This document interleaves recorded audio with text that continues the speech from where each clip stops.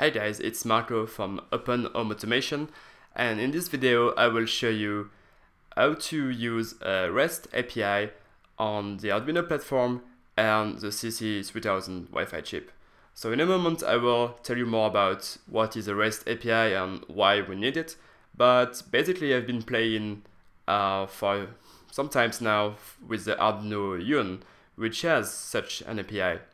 And I found out it's, that it's very easy to use this chip uh, because it has this kind of API. And many other official Arduino shields and boards like the Ethernet shield or the Wi-Fi shield, they already have some software to uh, make a, a, REST API on this board. But what I wanted to do is really make the same available for uh, the CC3000 Wi-Fi chip. So I'm going to show you how the project is um, was made. Also, I will show you and guide you through the code, how you can get it, how you can upload it to, to your board. And finally, I will show you a, a quick demo with the project you are seeing at the moment. So I just have an Arduino Uno board, uh, the CC3000 Wi-Fi chip, and just two LEDs to test this REST API.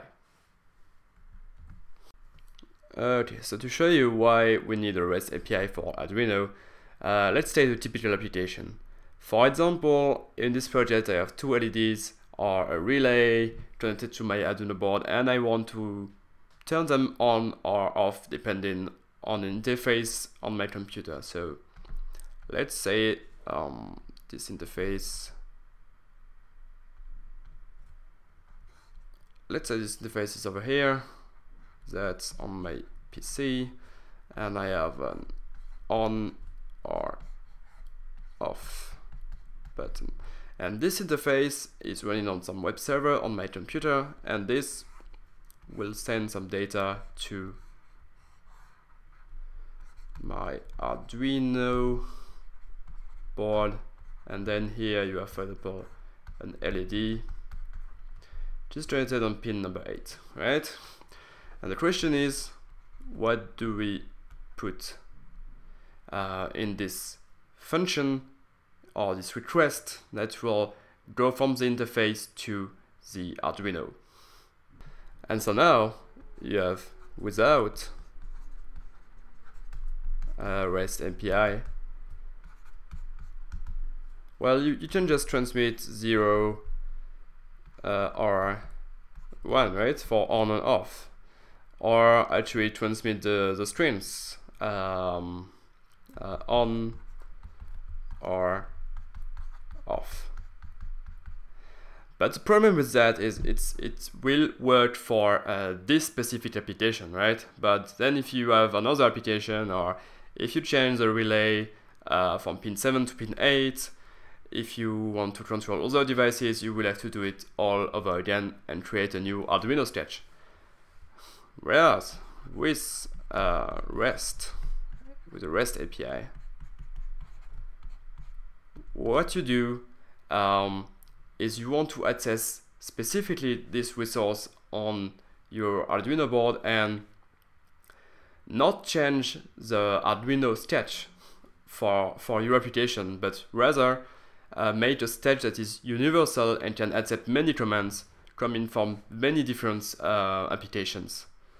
And what you will do in that example, let's say we want to turn the relay on, we will just have to go to a web browser or an, a web application and send this, the following command. We want a digital uh, pin to be turned on or off. The, the number it will be 8 and the state of the pin. And this is exactly what we will do in the example that we'll just follow.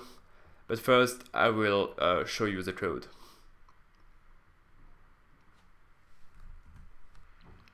So now I will quickly guide you through the code. So as usual, the code is available on um, GitHub. Uh, you will find the link just below the video. Um, and it's quite simple. You just have uh, one Arduino sketch, which is in that folder. I will give you the details of that sketch after that. but also on the repository you have uh, this tweet documentation talk about the supported hardware, an overview, how to quickly test um, the, this sketch, and then you have uh, the documentation of the API. So for now, the only supported operations are digital operations, analog, and operation to change the mode uh, of a given pin. So now the code, I will not uh, go into all the details. Uh, you can find that on the article on my website. But basically what the code, do, the code does is uh, create this uh, web server on the Arduino board, which is actually called Arduino and will be accessible by typing arduino.local in your web browser. And then here it handles uh, connections from the outside. And whenever a client is uh, connecting to the board, it reads the answer and then you can see there are all these if statements to determine which command was received. So is it a digital command? Do we want to read, write, on which pin?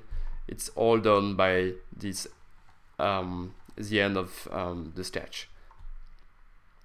So now um, that's enough for the code. I will upload this code to my Arduino board and I will show you a quick demo. Okay, now to finish this video, I want to show you a simple demo of uh, the REST API for the CC3000 Wi-Fi chip. And to do this, I will simply uh, go to my web browser, which I just opened, and I will access the Arduino board using the REST API that we just developed. So this is done by doing a simple arduino.local and the first thing I have to do is to put um, pin number um, 8 and 6 in my case uh, to outputs because I just connected two LEDs uh, to these pins. So I will do that. Mode 8 output and you can see I get this nice confirmation that uh, pin number 8 is set as an output. I will do the same with pin number 6 which is done.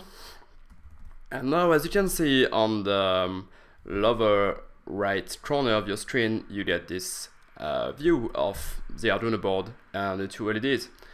And now I will switch one LED on by doing digital 8 and 1, which means I will apply a digital state high to um, pin number 8 and I get the confirmation and you can see that the LED just turned on. And I will do the same for pin number 6 now the green LED is turning on and just to finish I will put uh, pin number 8 back to 0 and that's done. And really with this what you can do is uh, play around and make more complex applications uh, from using this REST API on the Arduino with the CC3000 Wi-Fi chip. So I just wanted to say a few words before uh, ending this video. As I show you in this video, it's quite easy to control the Arduino board via this REST API. And really, if you have some time, try it out. Just download the code from uh, GitHub, you will find the link below. And I really believe using such APIs will uh, standardize uh, the way we communicate with Arduino boards via Wi-Fi, and also via Ethernet. So if you make any cool and fun applications with this API, please share them uh, below or on my website. And if you find any bug, please share them as well. I'd be happy to fix them. So thank you for watching this video. Please share it and see you in the next one.